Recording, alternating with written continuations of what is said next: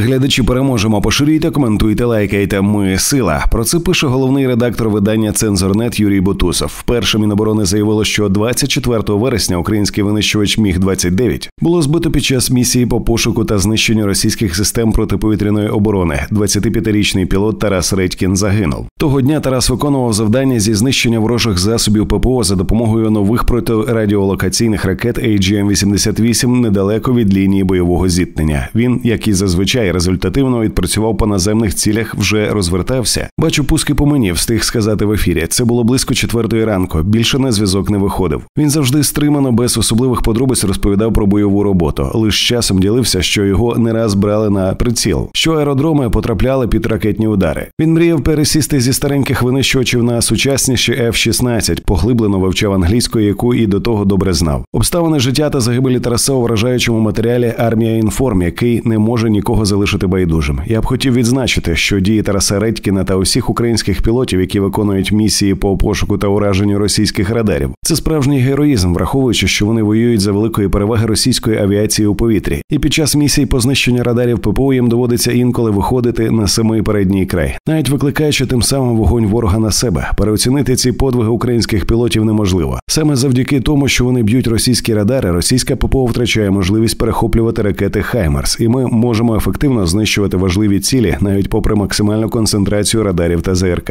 Українські інженери у рекордні терміни вирішили неймовірно складне технічне завдання. Інтегрували управління протирадіолокаційними ракетами AGM-88 «Харм» в комплекс озброєння українських міг 29 Складність у тому, що система управління вогнем міг 29 не сумісна з літаками США. для застосування ракет «Харм» і знищення систем ППО в країнах НАТО обладнуються спеціально виділені літаки, наприклад, у ВПС США літаки модифікації F-16 CG, які несуть на собі додатково підвісний контейнер з станцією радіоелектронної розвідки AN-ACQ 213 контейнер зі станцією радіоелектронної боротьби та контейнер постановки перешкод. Це дозволяє ефективно застосовувати проти радіолокаційні ракети AGM-88 «Харм». Саме станція розвідки з великої відстані виявляє координати та характеристики роботи радару ППО та передає у систему наведення ракети. Це дозволяє літаку здійснювати пуск з максимальних дистанцій, не зближуватись з ворожою ППО. А станція РЕП та станція перешкод захищає літак від ураження навіть в тому випадку, якщо радарам противника вдалося його засікти. Але міг 29 не може бути обладнаний такими контейнерами, оскільки розвідувальна станція має бути суміщена з системою управління вогнем літака. А щоб це зробити, треба дороговартність та заміна всієї системи управління вогнем та час на перепідготовку. А грошей на таке переобладнання у нас не вистачає, і модернізувати старий міг 29 немає вже сенсу. І усі літаки потрібні у строю, і бити ворога треба сьогодні, тим, що є. І наші герої-пілоти йдуть у бій, усвідомлюючи цей високий ризик. Тому наші пілоти вилітають на пошук цілей у зону ураження, поки сама ракета не захопить випромінювання радару. Так можна пускати ракети з найменшим ризиком, щоб ракета сама шукала ціль та навелась самостійно, але це не забезпечує максимальної точності. Якщо хочеш домогтися гарантованого влучання, то треба дочекатись, коли російський радар буде захоплений системою наведення. Для цього і доводиться зближуватись з ворогом, як це і зробив Тарас Редькін. Країни НАТО мають почати поставки Україні бойових літаків, хоча б для ураження російської ППО. Навіть старі модифікації F-16 Блок 50 можуть ефективно бити усі типи російських літаків за рахунок сучасних далекобійних ракет повітря-повітря АМ-120, керованих бомб GDIM та різних прицільних та захисних систем, які на них можна встановити. Все це треба робити негайно, бо пілоти набагато важливіші за самі літаки. Їхня підготовка потребує років. Саме застосування F-16 та керованих авіабомб дозволило б набагато зменшити запити України на високоточні снаряди та ракети, оскільки авіабомби та ракети могли поражати значну кількість цілей ЗС РФ, на які зараз ЗСУ змушені витрачати ракети Хаймарс та снаряди Ескалібор. Якщо російські позиції на передовій будуть уражати важкі авіабомби, це дозволить більш ефективно знищувати та проривати російську оборону на будь-якому напрямі. Це б дуже суттєво зменшило втрати української піхоти. Росія нарощує темпи виробництва зброї, намагається задавити Україну кількістю. Не дати ворогу переломити хід війни можна тільки якщо вчасно підготувати посилення для України. Сучасні радари F-16 могли б також звичайно посилити ефективність пошуку та знищення російських крилатих ракет та іранських дронів. Під ці літаки в арсеналах НАТО сотні тисяч різних видів озброєння. До зустрічі глядачі переможемо. Поширюйте, коментуйте, лайкайте. Ми сила.